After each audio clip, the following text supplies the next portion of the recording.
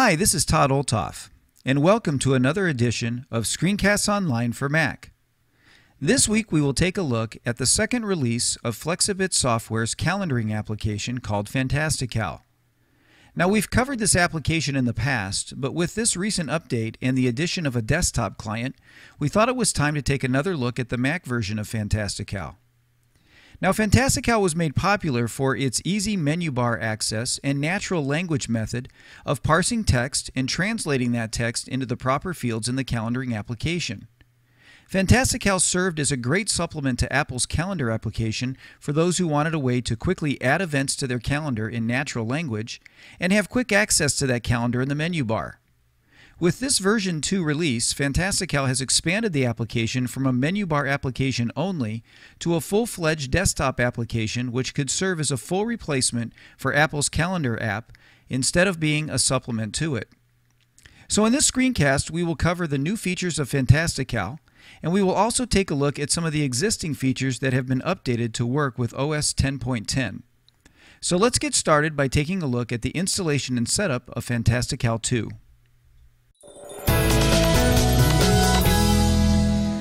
Okay, here we are over on the uh, App Store, and you can see that uh, Fantastical 2 is here. It's $39.99 right now, and that's uh, a, with a 20% discount. Uh, that's part of their launch sale. So the timing on this is pretty good that you can get a discount on it. Now it is a completely new application. So there's not a direct upgrade path for this application. So if you've got Fantastic Fantastical 1, uh, you will have to uh, come in and buy the application uh, at this full price again. Uh, but like I said, there is at least a 20% off uh, discount for a limited time. Now I've already downloaded the application and installed it. So let me just put this down and let's go ahead and launch Fantastic Fantastical for the first time. So just click the launch here. And so it's going to ask me if I'm sure I want to open that. I'm going to say OK.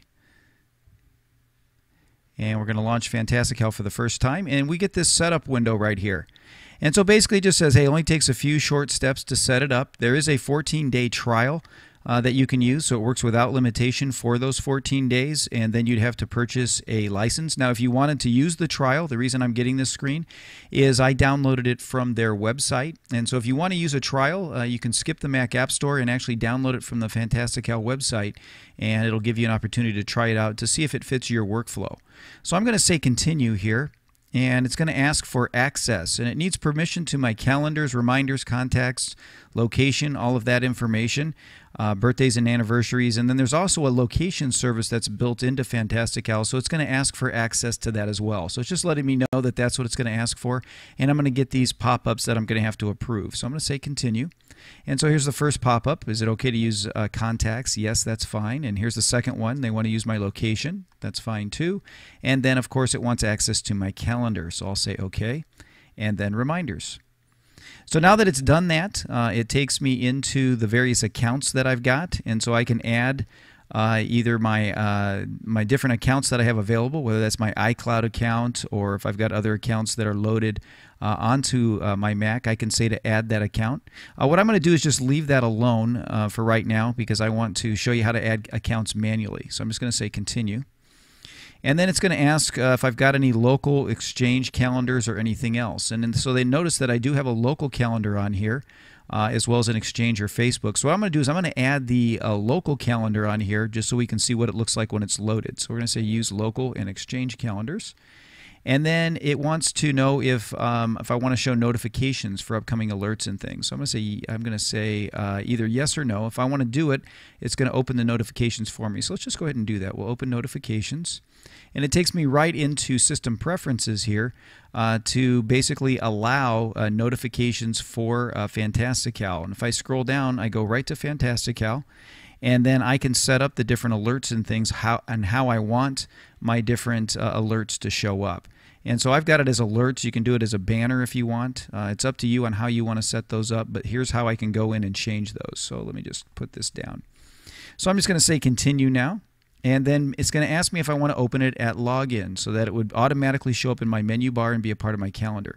Uh, I'm going to just say go ahead and open at login, and it basically says that's all. You can join their mailing list if you want. We're going to open Fantastical for the first time. And so here we are with the Fantastical window, and we've got this uh, kind of nice welcome area here.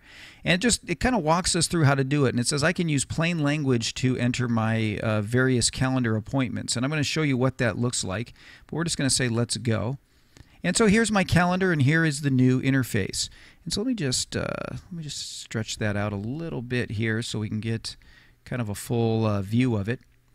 Now, what's unique to Fantastical is that we've got a couple of things. We've got a menu bar item up here, and if I were just to click on that menu bar item, you see I get this drop down.